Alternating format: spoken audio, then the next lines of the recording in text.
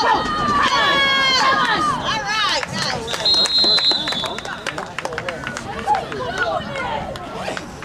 McCabe on the carry, stack by number 24, Thalen Sayers, not before a first down.